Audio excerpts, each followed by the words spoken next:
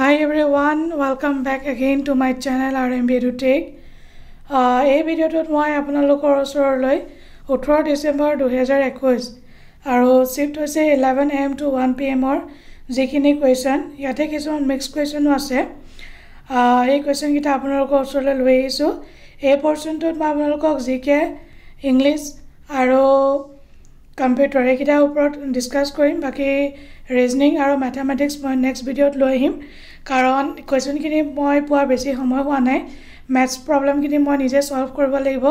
Then only I can upload the video' so' এতিয়া বেছি time waste নকৰি আমি কেনেকুৱা ধৰণৰ কুৱেশ্যন আজি সুধিছিল তাক আমি চাওঁ আহোঁ তো প্ৰথমটো কুৱেশ্যন হৈছে on which river Nagarjuna Sagar dam located ডেমৰ ওপৰত আগতো কেইবাটাও কুৱেশ্যন আহিছিল। যেনেকৈ হীৰাখন ডেম ক'ত লোকেশ্যন আছে বা কোনখন নদীৰ ওপৰত লোকেশ্যন ৰিভাৰৰ ওপৰত তেনেকুৱা ধৰণৰ আপোনালোকে চাই যাব।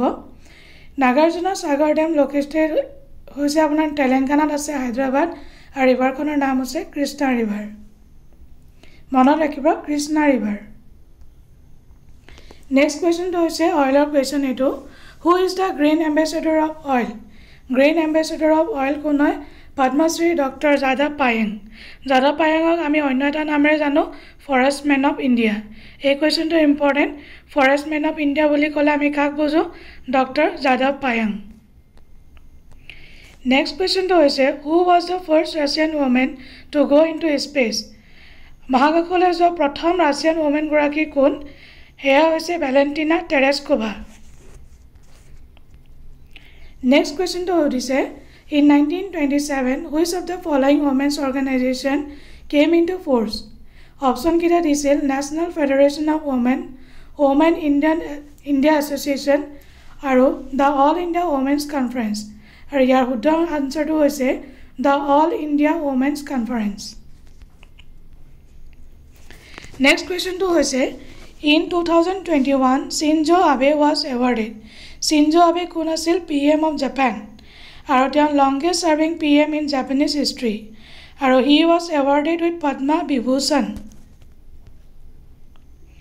another question is Bombay High is under the control of which organisation Bombay High এতিয়া তাক মুম্বাই হাই বুলি কোৱা যায় field is an offshore oil field located in the Arabian Sea আৰু an is operated by the O' N G C oil and natural gas corporation next কুৱেশ্যনটো computer question সুধিছে full form of G I F G I F যিটো আমি আজিকালি WhatsApp হওক বা Facebook হওক তাক আমি কিছুমান দেখোঁ জি আই এফ সেই জি আই এফৰ ফুল মিনিংটো কি হৈছে graphics interchange format full form of B C C B C C full form হৈছে ব্লাইণ্ড কাৰ্বন কপি আপোনালোকে কোনোবাই যদি অফিচত কাম কৰে বা এনেও দেখিছে মেইলত চি চি আৰু বি চি চি থাকে।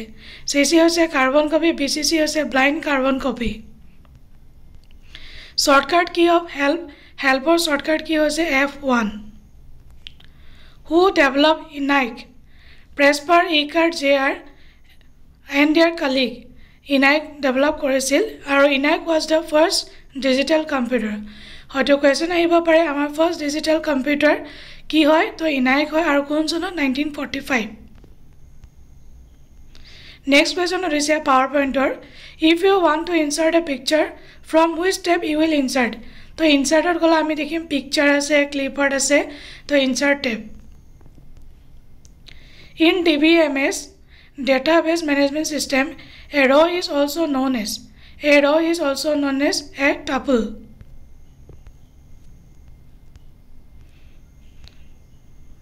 next কুৱেশ্যনটো হৈছে shortcut key to delete permanently without storing in recycle bin আমি কিবা এটা বস্তু যেতিয়া ডিলিট কৰোঁ সেই ডিলিট বস্তুটো আমাৰ ক'ত থাকে? ৰিচাইকেল বিনত থাকে। ইন ফিউচাৰ আমি এইটো দৰকাৰ হ'লে এইটো ষ্ট'ৰ কৰি থোৱা থাকে ৰিচাইকেল বিনৰ পৰা আমি ল'ব পাৰোঁ। কিন্তু ইয়াত সুধিছে পাৰ্মানেণ্টলি আমি শ্বৰ্টকাট কি কি যিটো ডিলিট কৰিলে ৰিচাইকেল বিনলৈ নাযায়। পাৰ্মানেণ্ট ডিলিট হৈ যায় shift plus delete king of spices মচলাৰ ৰজা বুলি কাক কোৱা যায় ব্লেক পেপাৰ জালুকক নেক্সট ইংলিছৰ কুৱেশ্যন আহিছে এণ্টনিম অফ ফেটিক ফেটিক মানে খুব ভাগৰুৱা টায়াৰ্ড তাৰ অপজিট কি হ'ব refresh lively